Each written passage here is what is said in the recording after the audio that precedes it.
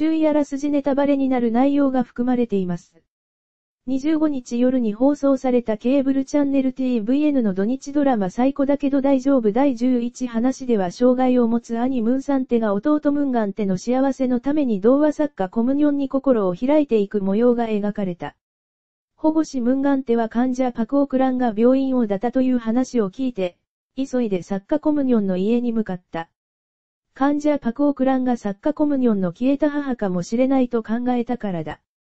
その時刻、パクオクランはコムニョンの家を訪ねた。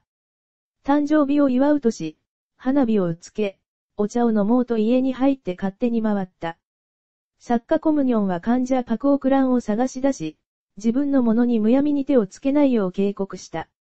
騒ぎを起こして、コムニョンはパクオクランが持っていたナイフで手を傷つけた。コムニョンは直ちにパクオクランに自分が受けた傷を返しそうとしたが、保護しムンガンテが言った言葉を思い出して耐えた。作家コムニョンの家を訪れた保護しムンガンテは真っ先に彼女を探し出した。患者パクオクランがコムニョンを制圧したかもしれないと考えたからだ。彼はコムニョンを発見した途端、抱きしめて心配した心を伝え、コムニョンは自分を訪ねてきたムンガンテに喜んだ。しかし、ムンガンテが患者パクオクランの行方を尋ねると、コムニョンは自分が会いたくて訪ねてきたのではないのかと焼き餅を焼いた。ムンガンテは怒ったコムニョンを慰めてあげながら手の傷の手当てをした。そして、すねたコムニョンにいきなりキスをしながら心を伝えた。二人は和解し、コムニョンは体調が悪いムンガンテを直接看病してあげた。ムンガンテはコムニョンの看病を受けながら一緒に眠った。翌日、ムンガンテはコムニョンニアにムンサンテの状況について正直に話した。ムンガンテは母親が殺害されており、唯一の目撃者が兄だったと言って、その時から蝶が飛ぶ春になるとムンサンテが、母親が死ぬ日の悪夢を見ると打ち明けた。そして、ムンガンテはその苦痛を20年近く兄さんが一人で抱いている。だから兄さんの隣には僕が必ずいなければならない。ところでそんな兄さんを放っても僕はくんとたくさん遊びたい。君が前にそういった運命が特別なものなのかと。必要な時に僕の側に現れてくれれば、それが運命なのだと。僕は君が必要だ。僕が兄さんの隣にいるから、君はただ僕の側にいてと心を告白し、コムニョンはそうすると話した。保護しムンガンテの言葉を聞いた作家コムニョンはアニムンサンテを訪ねて説得した。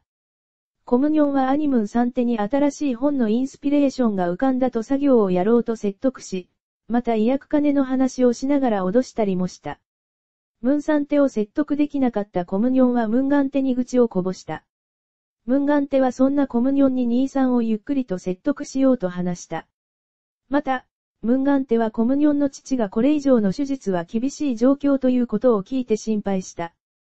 保護しムンガンテはアニムンサンテの状況をさらに細く探った。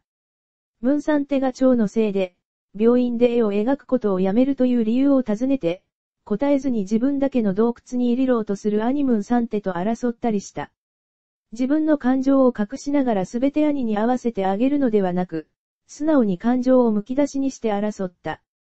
ムンガンテはそしてよりいいと笑った。彼は友人チョゼスに兄さんと僕、とても長い間二人だけ見つめて生きてきた。今は人と交わって生きていることも学ばなければならない。僕が知っている最も孤独な人間がコムニョンと話した。作家コムニョンは保護しムンガンテを恋しがりながらお腹が空いたとメッセージを送った。ムンガンテはメッセージには答えがなかったが、コムニョンを訪ねて行き、見知らぬ人に角を開けたコムニョンを叱りつけた。そして、お腹が減っているといったコムニョンを連れて夕方のデートに乗り出した。ムンガンテはコムニョンにも兄と喧嘩した話をしながら、とても良かったと話した。他の人たちのように平凡になることを望んでいたムンガンテだった。コムニョンはムンガンテにしたかったことがなかったのか聞き、ムンガンテは引っ越しではなく旅行に行くことと、兄さんと喧嘩すること、そして制服を着て学校に行くことだと語った。二つは実現したが、一つはもう遅いというムンガンテだった。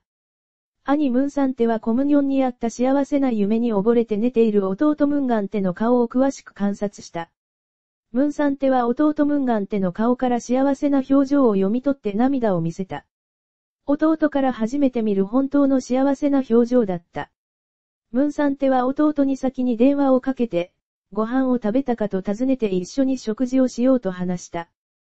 ムンサンテは弟ムンガンテにご飯を買ってあげると小遣いをあげて、兄らしく面倒を見てあげた。その姿を見て、作家コムニョンは私もお兄さんのようなお兄さんが欲しいと話し、ムンサンテの真心へ近づいていった。結局、ムンサンテもコムニョンに心を開いた。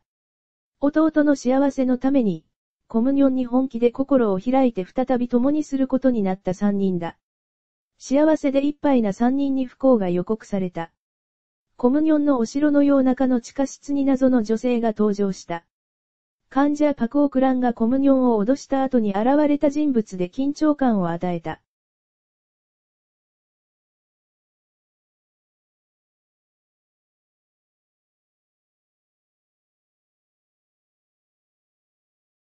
BTS、防弾少年団。1機器確認チェック your device。BTS BTS、防弾少年団反転コンドライブ。バングバングコンテリブ。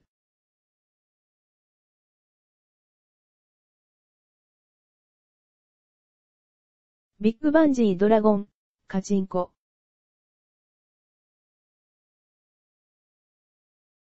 トゥモローバイトゥゲザー4順、ダイエットのビフォー vs アフターアゴラインの変化が韓国で話題。